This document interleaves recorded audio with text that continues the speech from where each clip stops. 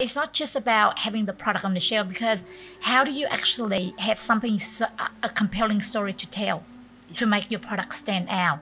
The sales, the distribution, and making the awareness and all the PR. Like, you know, it's not easy. It takes a lot and a lot of work. And I tell you what, like, there's times where it gets a bit too much that you can break down and cry and it's it's about putting all your your heart your soul everything on the table all that risk and yeah. and you know i've always been a person that if i start something there's always going to be hiccups on the way yeah. You know, nothing in life is a straight line. It's, it's a life. lot. it's life. It's a lot of swiggle line, and there's a lot of rocky road.